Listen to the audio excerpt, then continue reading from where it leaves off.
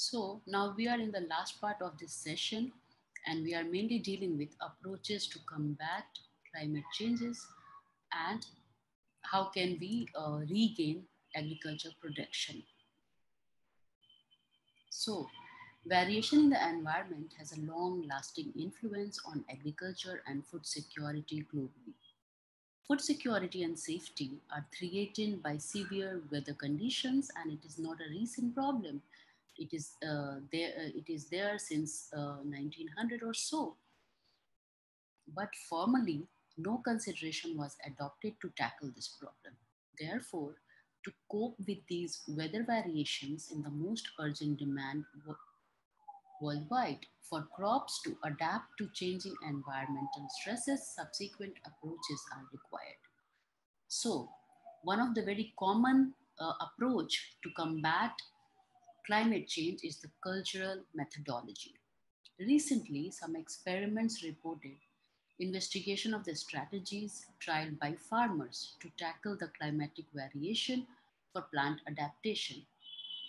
There are many useful approaches adopted by, by farmers themselves, including abiotic factors such as altering planting and harvesting time, collection of crops with short life cycles, crop rotation, irrigation techniques, and variation in cropping schemes. Under climatic stress conditions, all of these approaches are very beneficial for crop adaptability. Modification in sowing time, application of drought-resistant cultivar, and the cultivation of new crops are some important strategy to lessen the climatic variability danger and provide better adaptability to crop plants for assuming food safety and security.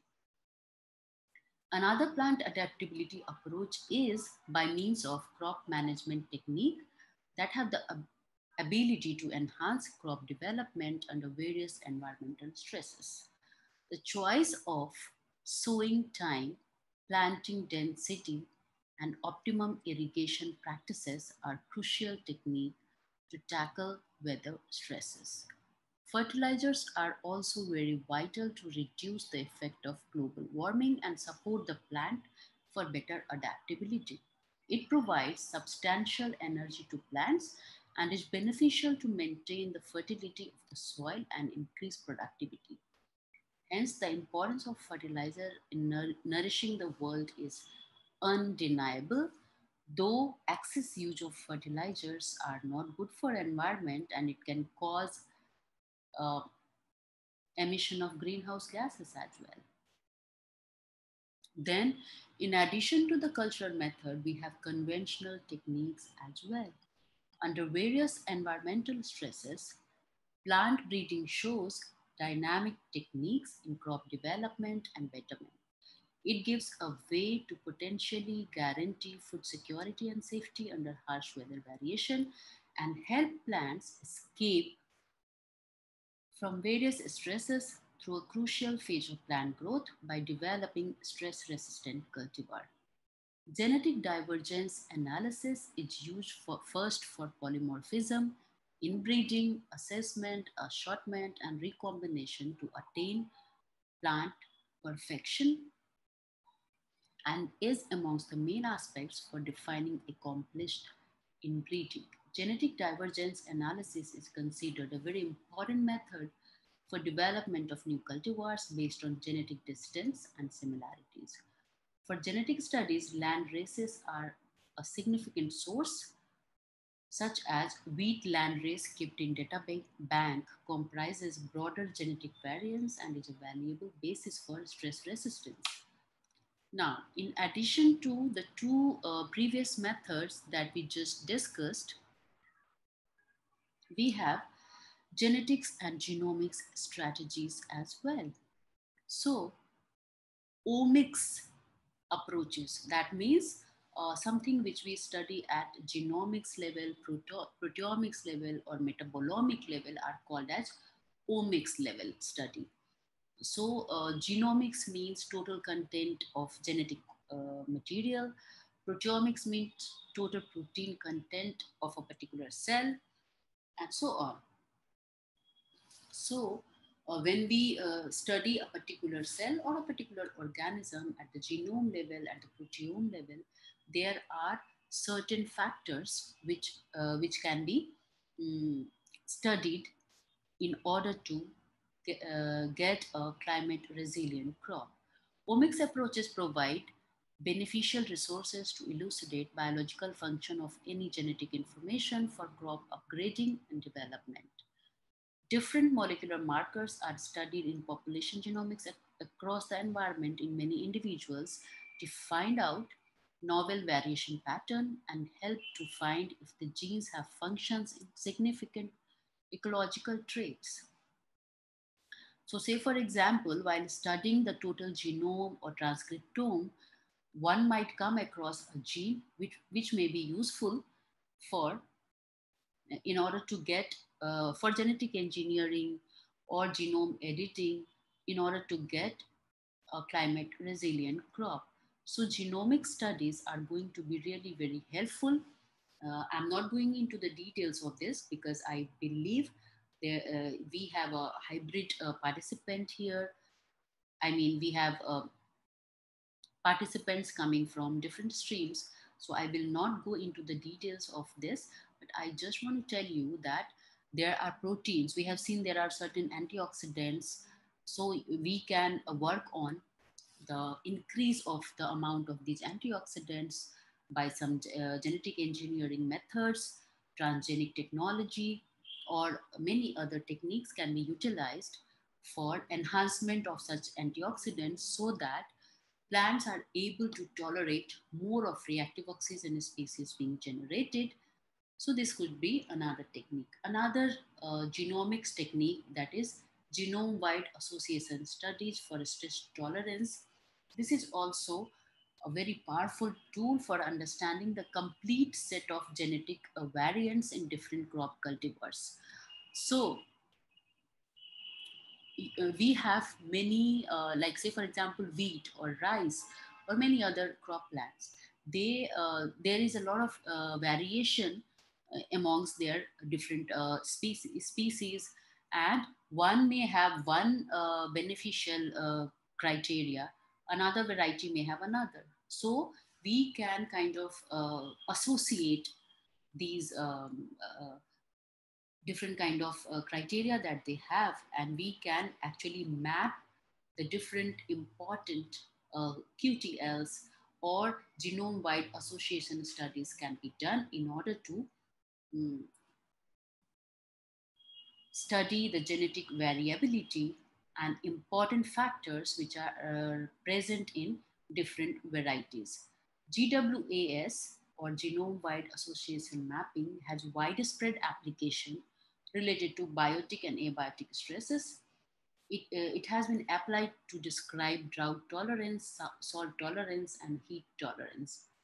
So GWAS is another technique which can be utilized. Then genome selection for crop improvement is also important. Genome selection in the is one of the very exciting tool to revolutionize the crop improvement by using high throughput phenotyping and marker density to screen the elite germplasm. And it can be further utilized to improve polygenic traits and economically breeding line development. The next important tool is genetic engineered plants for stress tolerance. So biotechnology is an influential approach for genetic manipulation of the genome for the betterment of human being. The genetic modification through biotechnology is a powerful strategy. Encouraging data is collected from genetics, which can be exploited significantly to various biotic and abiotic stresses, such as salinity, drought, heat, and cold. Identification of stress responsive transcription factor are powerful findings to develop stress resistant crop cultivars. Transcription factors can control the phenotypes of genes in genetic engineered crops associated with various stresses. There are numerous transgenic plants which have been established by genetic engineering to tackle with biotic and abiotic stresses. BT cotton, BT brinjal, uh, for that matter, transgenic maize. These are very important uh, genetically engineered plants which are being used in many of the countries. So similarly, similar factors can be introduced into the plant which, uh, which will allow to generate climate resilient crop plants.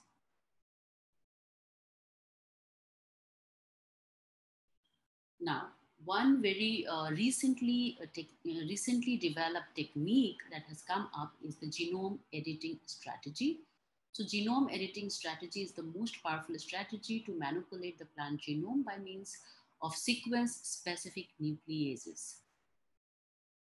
Genome editing for crop improvement has the remarkable ability to tackle food insecurity and develop a climate-smart agriculture system globally. In traditional plant breeding approaches, genes are discovered to be associated with various important traits by means of mutation, conventional breeding strategy, which has recognized as a significant technique for the development of elite and high-yielding germplasm.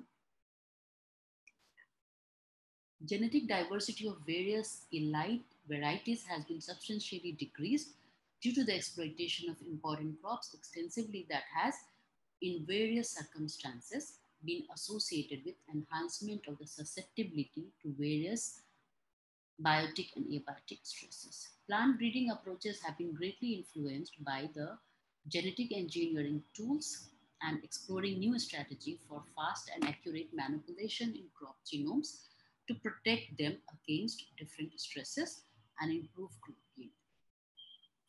Thus, developing the novel modification in the gene pool of various plant germplasm is required under biotic and abiotic stresses for the improvement of elite crop varieties with great inability to produce high-yielding crops. In genome editing technology, site-specific endonucleases are used comprising of zinc finger nucleases, transcription activator like effector nucleases, and CRISPR-Cas9. In contrast to the Zens and talens, that is, in contrast to zinc finger nucleases and transcription activator like effector nucleases, genome editing tools, the CRISPR-Cas9 system is emerging as the most powerful genome editing strategy because it is economical, rapid, accurate, and enables multiple site-specific editing within the genome. CRISPR-Cas9 is a modern genome editing strategy based on prokaryotic defense mechanism triggered by type 2 RNA organization that offers protection to prokaryotes against attacking viruses.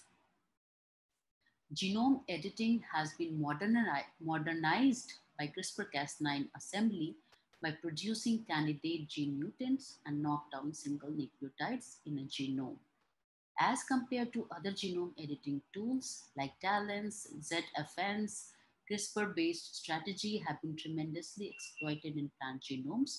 Moreover, it has great potential to aid crop breeding to establish high-yielding and stress-resistant varieties. Most importantly, the CRISPR-Cas9 tool is converting into a comprehensible environment-friendly technique for the establishment of genome-edited non-transgenic plants to tackle environmental extremes and guarantee food security. So, in nutshell, we can say that there is there are indications of climate change, and because of this climate change, plants and agriculture crops specifically are going to face more incidences of biotic and abiotic stresses. Therefore, we need to be prepared with climate resilient crops. And during these biotic and abiotic stresses, there is one common feature which is observed in many type of stresses that is a generation of reactive oxygen species.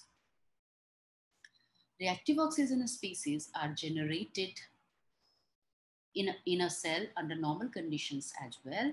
But when a cell is facing biotic or abiotic stress, it is going to be produced more even at the sites where it was not getting produced under normal conditions. And excess amount of reactive oxygen species is going to uh, degrade or is going to affect several biomolecules, important biomolecules of the cell that are proteins, DNA, and lipids. So, in order to survive, plant cells have developed the, a mechanism. So, they produce antioxidants. These antioxidants could be enzymatic or it could be non-enzymatic, which can help to scavenge these reactive oxygen species and safeguard the cells. But a cell can um, acclimatize to such condition only up to an extent. If there are extremes of reactive oxygen species in a cell, it can cause programmed cell death. So and uh, similarly, there are many other physiological, molecular, biochemical changes which are occurring in a cell when it is under stress. So, if there are climate change, there are more incidences of biotic and abiotic stresses. So, the plant and their cells, they need to be prepared to acclimatize those stresses. And for this, human interventions are required so the traditional method and the, um, the breeding method and other strategies which is related to genomics, molecular and integrated breeding, physiology, uh, physiological methods, and many other methods can be applied uh, because of which uh, climate resilient crop can be made ready so that we are kind of ready for if there is a climate change, if there, there are extremes of temperature, if there is a water scarcity, we have a variety, we have a plant, we have a crop plant which is still able to grow. Thank you.